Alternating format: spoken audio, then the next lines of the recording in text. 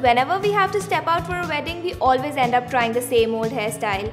But not anymore. I'm going to show you two different hairstyles which you could try the next time you have to step out. Wrapped fishtail hairstyle. Take the right side section of your hair and twist it. Now pin it up at the back. Take the left middle section of your hair and make a fishtail braid.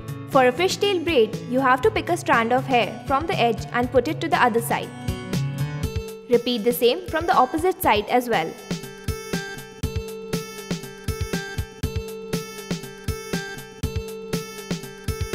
Once you are done, pull your braid to add more volume.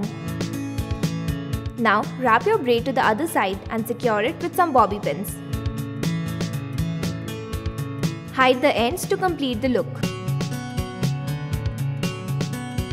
So girls, we are done with the first look and now we are starting up look number 2, twisted open hairstyle.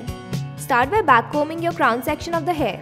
Once done, pin the crown section by using some bobby pins. Now take a strand from the left side and twist it. Pin the strand to the right side. Do the same twisting process from the other side and repeat it for 4 to 5 times and you're done.